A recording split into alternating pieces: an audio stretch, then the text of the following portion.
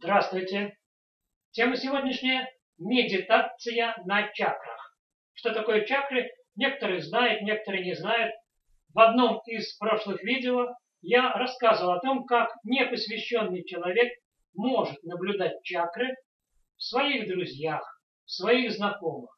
А при соответствующей степени открытости перед собой, честности перед собой, этот человек может и охарактеризовать свои собственные чакры. Если для вас это представляет интерес, вы можете на YouTube найти это видео, задайте поиск YouTube Сергей Корнилов, открыть чакры. Зачем? Для вас это видео может быть интересным.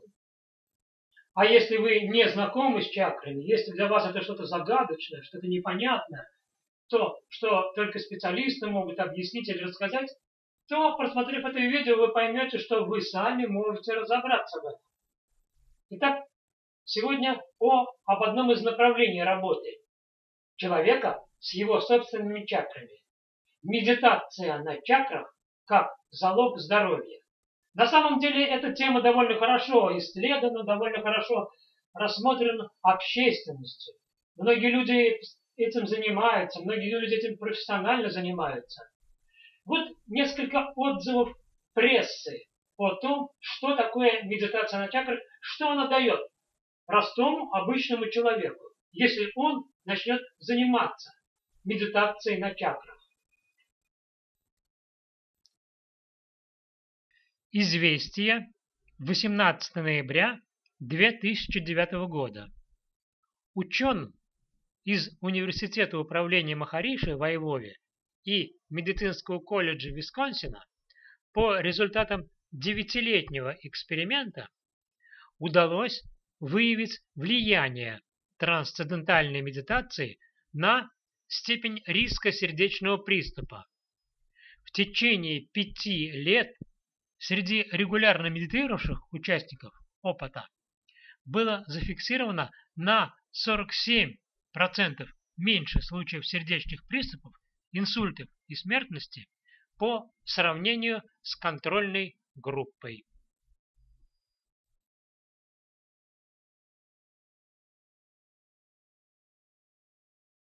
Аргументы и факты 15 января 2009 года. Медитация замедляет процесс старения. Это доказали еще 30 лет назад психологи Калифорнийского университета. Они следили за тремя показателями у своих испытуемых. Уровнем артериального давления и остротой зрения и слуха. Все показатели были лучше у тех, кто практиковал медитацию. А те, кто медитировал дольше пяти лет по биологическому возрасту оказались на 10-12 лет моложе своих ровесников. Комсомольская правда. 30 октября 2006 года. По словам президента Американской ассоциации аюрведической медицины доктора Дейла Чопра, если правильно пользоваться этими методами, то человек может полностью контролировать функции своего организма и всегда оставаться здоровым. Его уверенность основана на недавнем медицинском открытии. В нашем организме есть замечательная внутренняя аптека, содержащая полный комплект лекарств для профилактики и лечения всевозможных заболеваний. А чтобы эти лекарства помогали нашему организму, нужно научиться медитировать. Журнал Time, 4 августа 2003 года. Не только исследования действительно показывают, что медитация повышает иммунитет, но и сканирование мозга наводит на мысль, что перестройка мозга, возможно, уменьшает стресс. Все больше и больше врачей рекомендуют медитацию как способ предотвращения, замедления или, по крайней мере, контролирования течения хронических заболеваний, таких как сердечно-сосудистые болезни, СПИД, рак и бесплодие. Более того, если вы познакомитесь с трудом немецкого медика-онколога Райка Герда Хаммера, вы сможете убедиться в действенности инструмента, который сегодня именуется психосоматикой. В конце прошлого века, в начале 80-х, доктор Хаммер открыл пять биологических законов, объясняющих причины, ход развития и процесс естественного исцеления от заболеваний, основанных на универсальных биологических принципах. Согласно этим биологическим законам, заболевания не являются, как полагалось ранее, результатом дисфункции или злокачественных процессов в организме. Но заболевания являются скорее важным, специальным биологической программой СБП, созданными природой для оказания индивиду помощи период переживания эмоционального и психического дистресса. В десяти тысячах историях болезни доктору Хаммеру удалось документально запротоколировать связь между начальным психическим синдромом стресс и последующим развитием заболевания. Используя свою методику, он изучил, излечил 6 тысяч из 6,5 тысяч больных на последней стадии рака, не считая самого себя. Хаммер опубликовал труд «Новая немецкая медицина». Эта медицина основана на медицинских открытиях, сделанных доктором медицины Хаммером. Этот труд и практика были встречены в штыки фармацевтическим лоббем. Доктор медицины Райк Гертхаймер лишился лицензии и места и вынужден был эмигрировать. Доктор Хаммер. Все так называемые болезни имеют особое биологическое значение. В то время, как мы привыкли приписывать матери природе способность совершать ошибки и имеем наглость утверждать, что она постоянно совершает эти ошибки и становится причиной сбоев, злокачественных, бессмысленных дегенеративных раковых возрастаний и тому подобное, теперь мы способны видеть, когда шоры спали с наших глаз, что только наши гордыня и невежество представляют собой единственную глупость, которая когда-либо была и есть в этом космосе. Ослепленные, мы наложили на себя эту бессмысленную, бездушную и жестокую медицину. Преисполнившись удивления, мы, наконец, впервые стали способны понять, что природа содержит порядок. Теперь мы это уже знаем. И что всякое явление в природе исполнено смысла в контексте целостной картины. А то, что мы называем болезнями, это не бессмысленные мытарства, которые пользуют подмастерья колдунов. Мы видим, что ничто не является бессмысленным, злокачественным или больным. Автор текста Кэролайн Марглин, доктор философии. Воспроизведено с сайта Learning GNM. Этот труд и практическая деятельность доктора Хаммера были встречены в штыки фармацевтическим лобби. Доктор медицины Райк Гертхаммер лишился лицензии и места и вынужден был эмигрировать. Что это означает на простом языке? На языке, понятном любому, не медику, а простому любому человеку. Что означает выводы, которые делает в этой своей работе доктор Хаммер? Это означает, с точки зрения доктора Хаммера, что те медики, которые современными методами пытаются лечить раковых больных, методами дорогостоящими, ужасно дорогостоящими методами для раковых больных. Эти методы не направлены на устранение причин заболевания.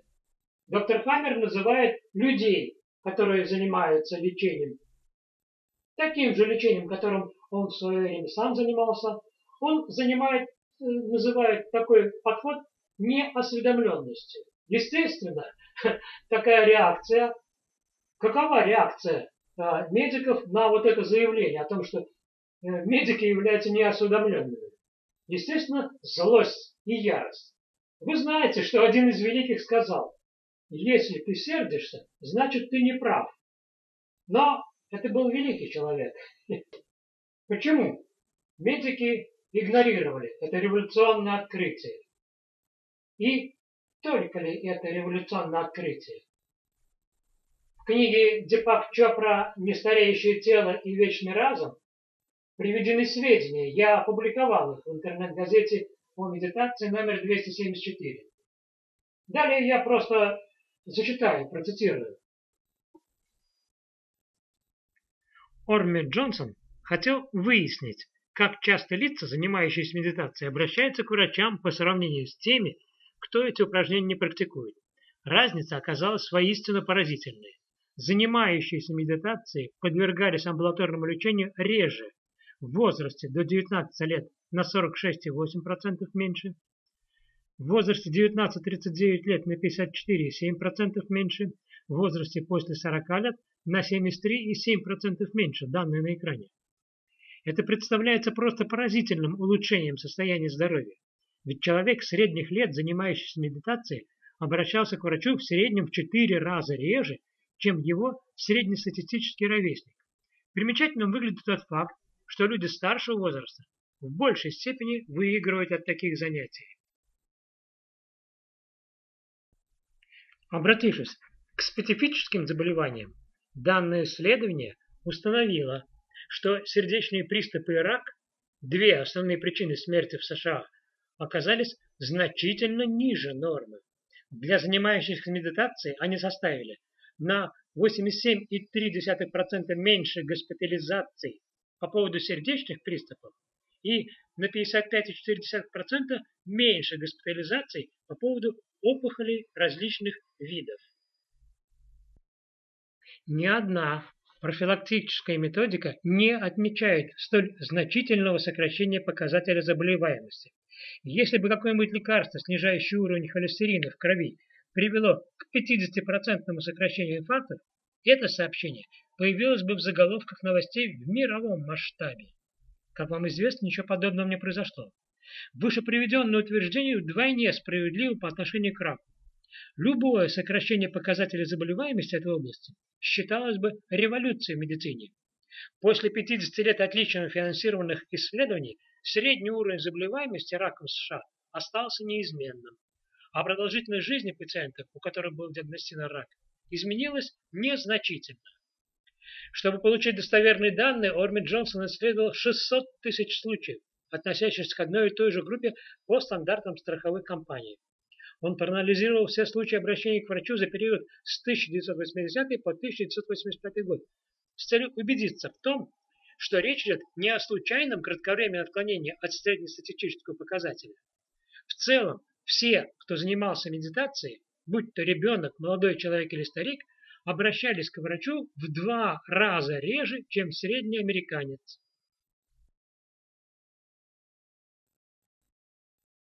И вновь вопрос. Почему медики проигнорировали это революционное открытие? Сразу скажу, однозначного ответа на этот вопрос трудно найти, я не смогу найти.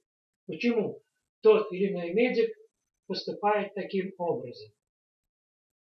Система. Либо ты работаешь в системе, либо ты вне системы.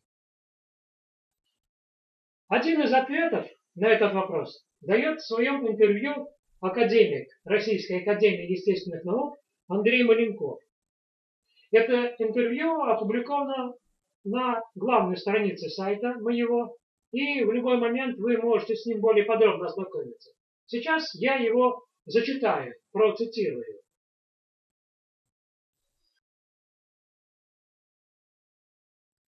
Интервью с академиком Раян Андреем Маленковым. Корреспондент. Андрей Георгиевич, уже много лет именитые медики говорят о необходимости профилактики. Однако даже самые эффективные методы профилактики и оздоровления оказываются невостребованными, никому не нужными. И денег на профилактику всегда не хватает, хотя всем известно, предупредить болезнь легче, чем вылечить. Что это? Злой умысел? Недомыслие? Маленков. Это закономерность. Цель формирует систему. Цель современного здравоохранения не та, которую декларирует Министерство здравоохранения, а та, которая обеспечивает экономические интересы медиков и производителей лекарств. Лечить именно лечить, а не вылечивать хронически больных. Есть огромная хирм фарминдустрия и армия врачей, усилия которых направлены на лечение. Такая ситуация всем выгодна. Человек получает помощь, облегчение страданий, но при этом годами остается покупателем препаратов и услуг медиков. Индустрия процветает. Так происходит во всем мире, не только у нас. Это достаточно откровенная оценка реальной ситуации. Корреспондент. Но ведь ситуация, при которой врач заинтересован в болезни своего пациента, чудовищна. И министр обязан думать о том, как ее изменить. Но у него совсем другая логика. Цитата.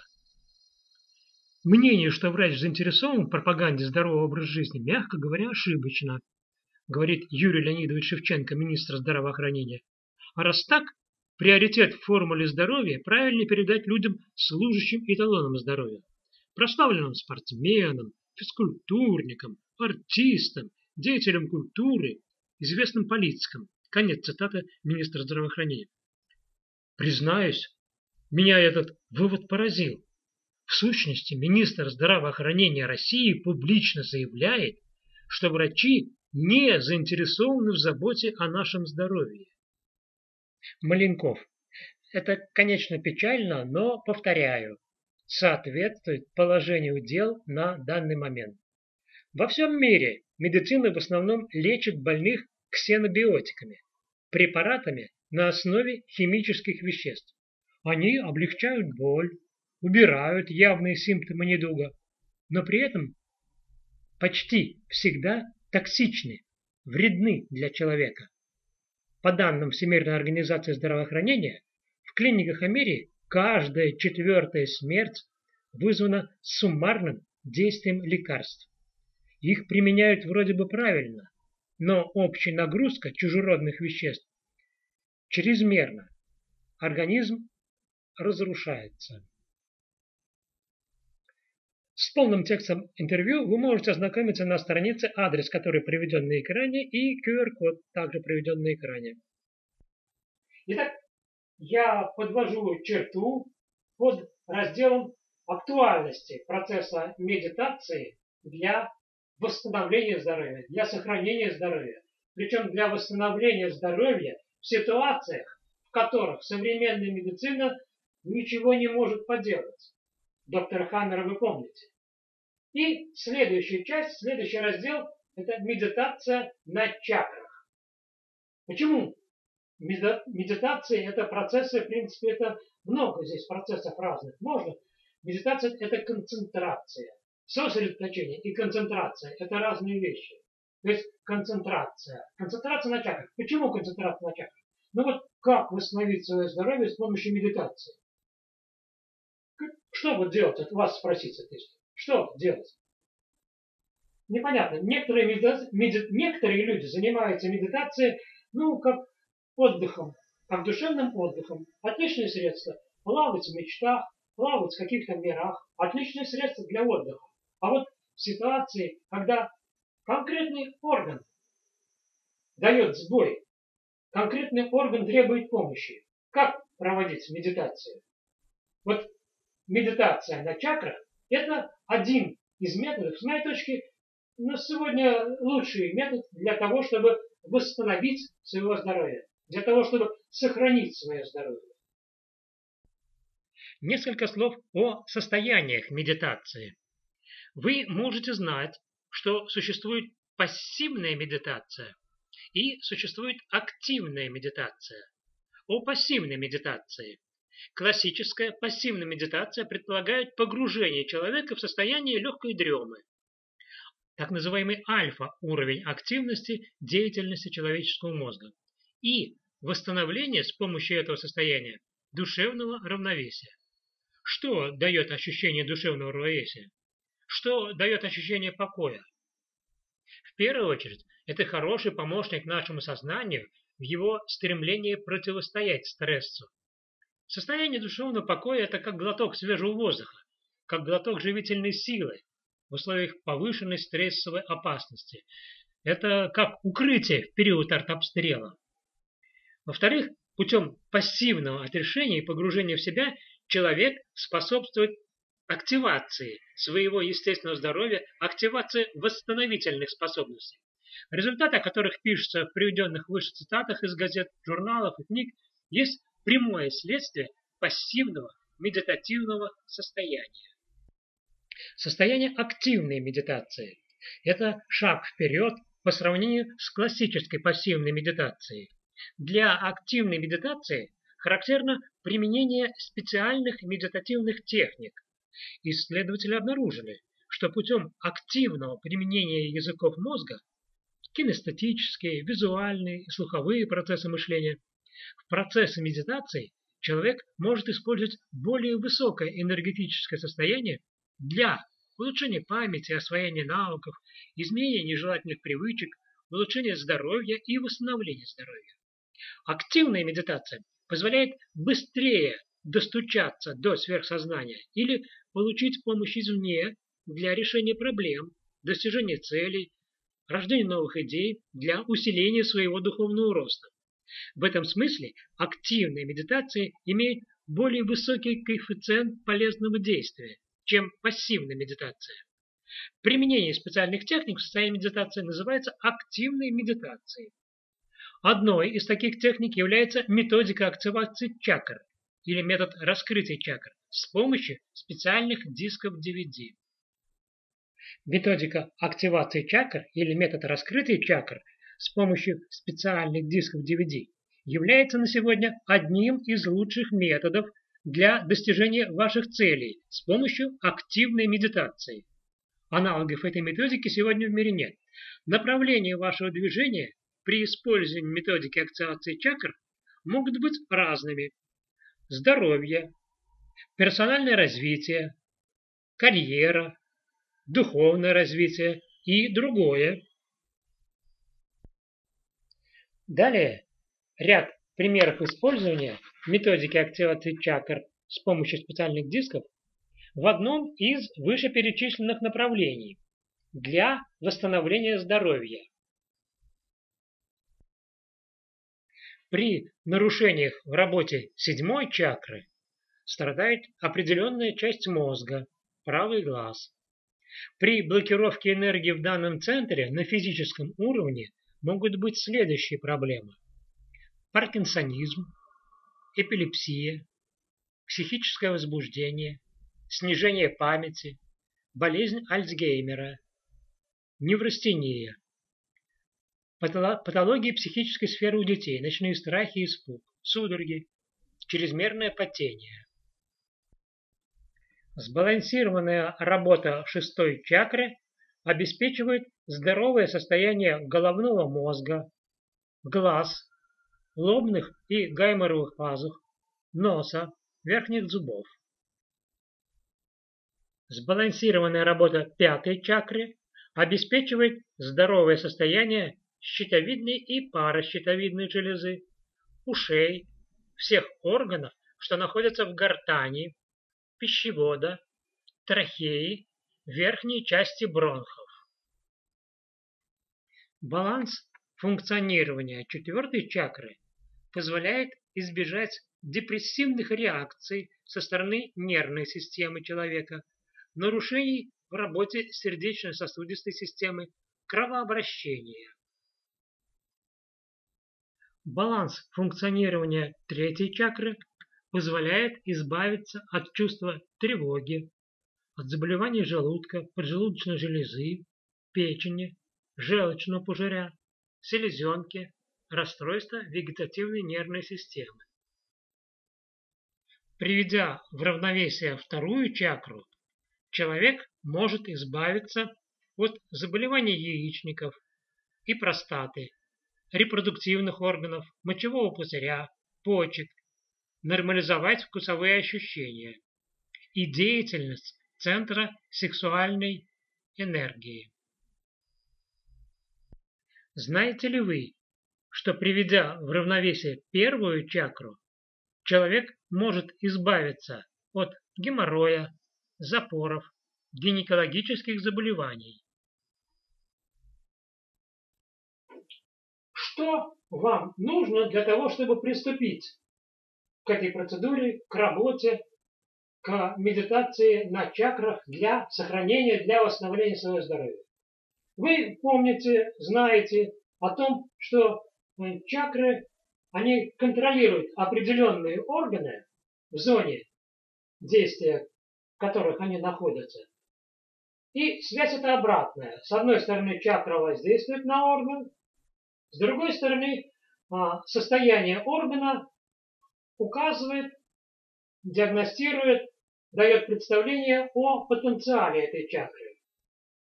Другими словами, для того, чтобы начать работать, нужно знать состояние ваших чакр, состояние активности, состояние энергетики ваших чакр на сегодняшний момент.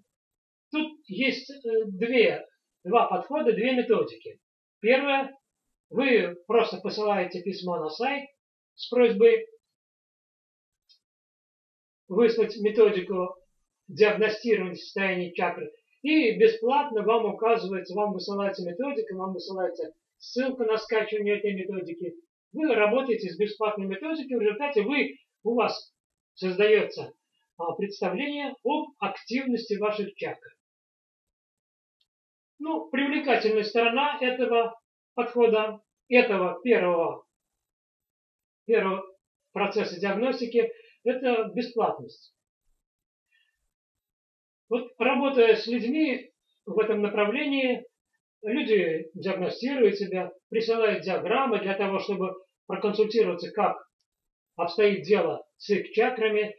И я обнаружил, что вот у этого метода, хотя метод отличный, с моей точки зрения отличный метод, есть один недостаток. Ну, никуда тут не деться. Диагностика ведется по опросному методу. Человека задается вопрос, и он должен ответить. Искренне, правильно должен ответить. Вот когда не было а, в современном мире еще томографов, компьютеров, различных сложных систем диагностических, ну там 100-200 лет назад, как доктора лечили людей? Ну, приходил доктор к человеку и задавал ему вопросы, на которые человек отвечал. И в зависимости от того, как отвечает человек на тот или иной вопрос, у доктора складывалась модель, и доктор там строил картину, ставил диагноз. Предполагается, что человек должен отвечать правдиво. Если человек там неправду отвечает, если он не э, осознает свои ощущения и Э, говорит немножко не о том, то, естественно, диагноз другой. Также и здесь. Простая система, но основана на опросном методе. Если вы искренне честно и правильно ответите на вопрос, то картина строится отличная. Были примеры, сравнивали, сравнивали мы диагностику, приведенную по вот этой бесплатной программе, с диагностикой, приведенной на платных комплексах, ну, различие там, ну, буквально 5-10%. В основном все верно. Но вот недостатком является то, что вот э, осознает ли человек э, некоторые процессы в себе. И вторая методика, ну, каждый может воспользоваться ей, это пройти диагностику. Сейчас во многих областных центрах существует э, услуга, представляется диагностика вот состояния чакры. И услуга, она ну, что-то порядка 20 долларов она стоит, ну, может быть, чуть где-то подороже. Вот два подхода.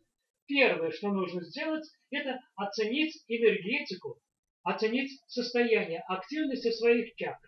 И уже потом, в зависимости от этого, естественно, если одна из чакр у вас там будет в завале, ну, говоря простым языком, а, очень слабая ее энергетика, то нужно будет основное внимание уделять работе с этой чакрой.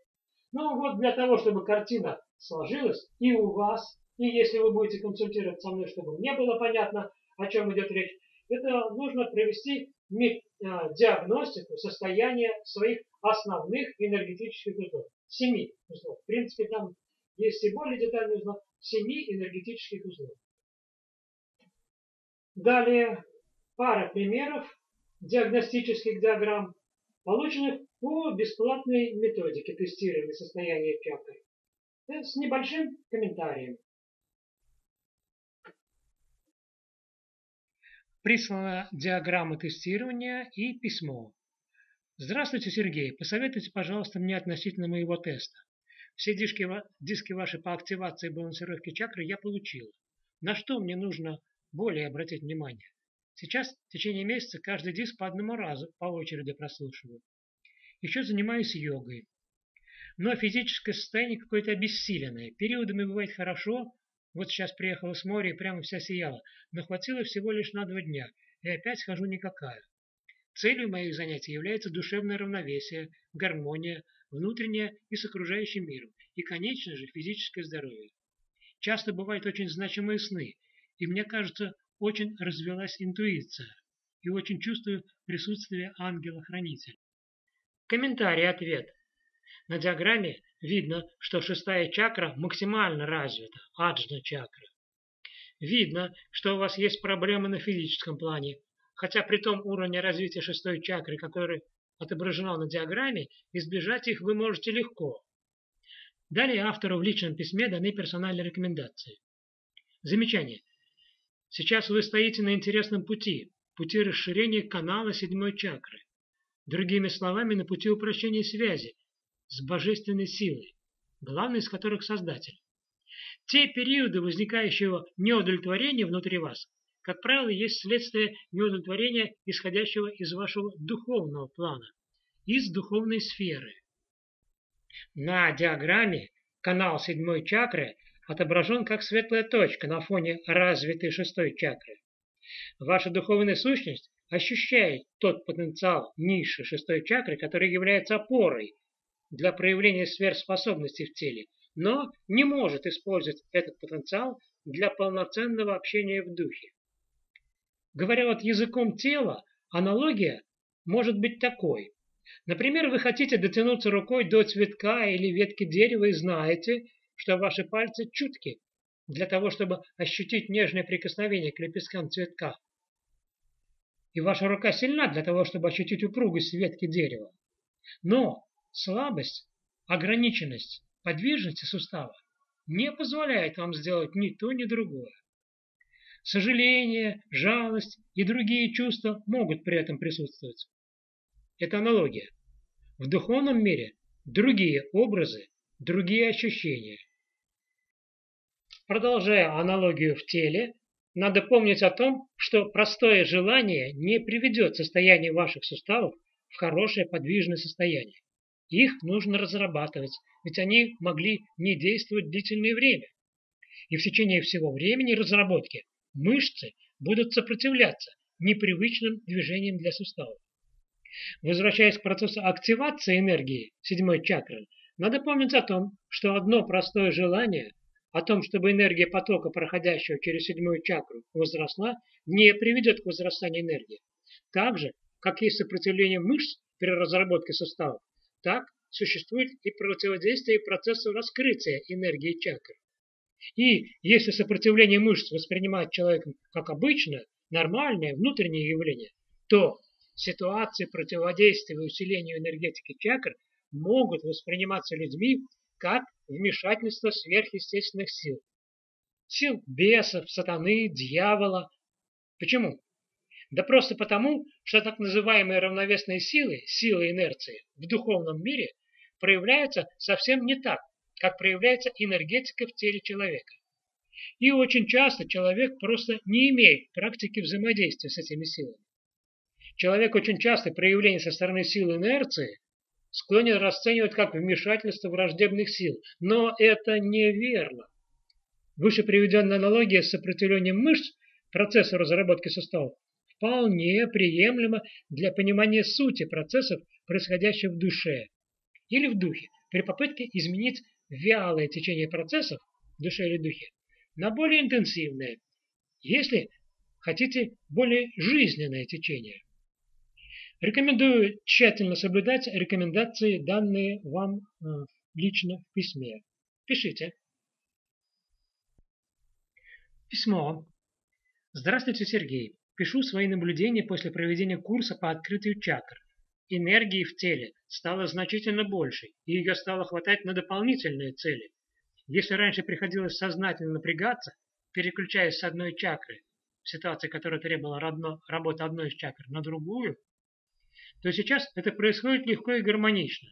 Раньше мир воспринимался через чакру, которая на данный момент работала. Сейчас очень необычное ощущение, потому что то, что раньше воспринималось частями, теперь составляет единое целое. И получается новое впечатление от мира, а он оказывается такой интересный, если все сразу. Прокомментируйте, пожалуйста, мой диагноз по чакрам. С уважением, Юлия.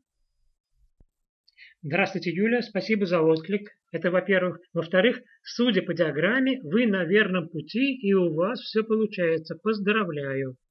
Откровенно говоря, диаграмме можно позавидовать. Немногие могут сказать о том, что такие результаты они достигли после первого цикла тренинга по открытию чакр. Юля сумела ухватить идею преобразований, идею запуска процесса открытия чакр. Дело в том, дело это не хитрое, но требует от человека полного погружения в процесс игры, соблюдения правил. Дальнейшие рекомендации простые. Отрабатывать манипуляции энергетикой чакр до автоматизма. Только после этого жизнь засияет яркими красками. Это как с ребенком, который учится ходить. Согласитесь, что времени на приобретение этого навыка ребенок затрачивает не так уж много, от полугода до года. Зато потом он может стать и отличным танцором, и первоклассным бегуном, и может быть чемпионом мира по спортивной ходьбе. Горизонты открываются потом, после приобретения первых навыков автоматизма. При занятиях по методике активации чакр, смотри ссылку далее, есть несколько подводных камней. Впрочем, эти препятствия характерны для любых ситуаций саморазвития, самосовершенствования, в любых ситуациях личностного роста. О некоторых напишу сейчас. С полным текстом ответа можно ознакомиться по ссылке, указанной далее. Методика активации чакр или методика открытия чакр включает в себя набор методических инструкций, сейчас на экране, и набор специальных DVD.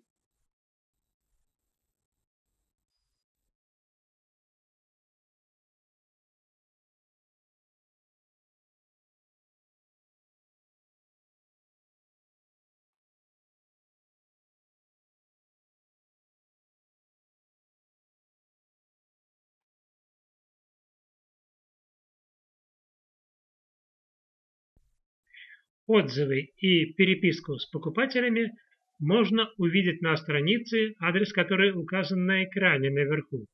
Внизу также указан QR-код этой страницы.